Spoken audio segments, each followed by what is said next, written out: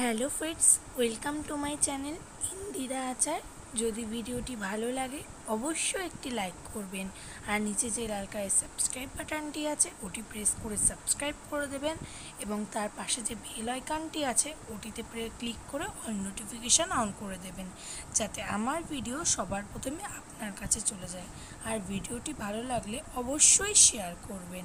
তো চলুন দেরি না করে ভিডিওটি শুরু করি।